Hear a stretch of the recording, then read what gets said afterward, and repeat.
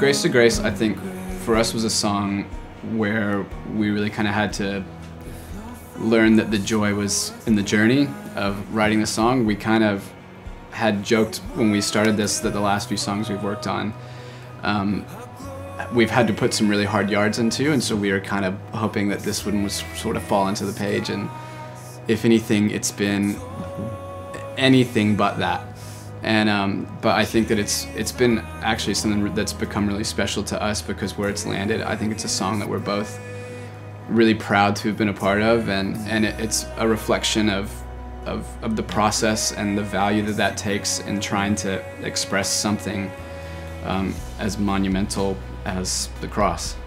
that that keyword idea of process to me is, has been something that's been huge in in my life. You know, John one, where um, Jesus, John's talking about Jesus and the Word becoming flesh, and you know that flesh may die, and it talks about um, grace upon grace, and this this whole thing of um, us becoming the light of the world. And to me it's all about process. It's about journey. And it's about understanding that sometimes i think with god we kind of want everything to happen in quick time on our terms how we imagine it. We get frustrated maybe in life when it doesn't um, and i think if you look at the narrative the, the narrative the easter narrative the um, the gospel the fullness of the word of god the bible to me it's all wrapped up in this moment of jesus um, and so you have a moment on the cross that is everything coming together, everything before, everything after.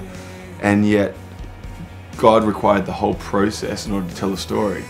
And it's the same with our lives. And it's like sometimes I think, man, we, we have this salvation moment where we become new creations, but then we, we're not like immediately just off to heaven. We're here for a journey. And the journey is a process of the Word becoming flesh in us, us becoming the image of Jesus and becoming like Him and it's a process of dying to ourselves. It's a process that involves Gethsemane, uh, you know, a process of um, that involves taking up our cross and denying ourselves, following Him daily. It's a process that involves um, just humility and surrender time and time again, and it's impossible without grace. And that's, that's the picture for me: is grace upon grace upon grace upon grace. It's all Jesus.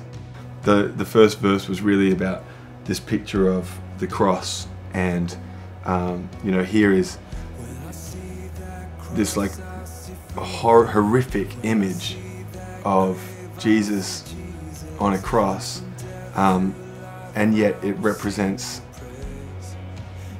beauty like that beauty of heaven I think the process part of it for us was actually the imagery of that within its context and trying to get that into a song that lands here and now for people, hopefully to kind of see Jesus in a new way or in a deeper way, or to understand um, just the beauty of, of the gospel story. And so, know, that's it. Grace to grace is kind of what was required, and grace to grace, I think, is is um, is everything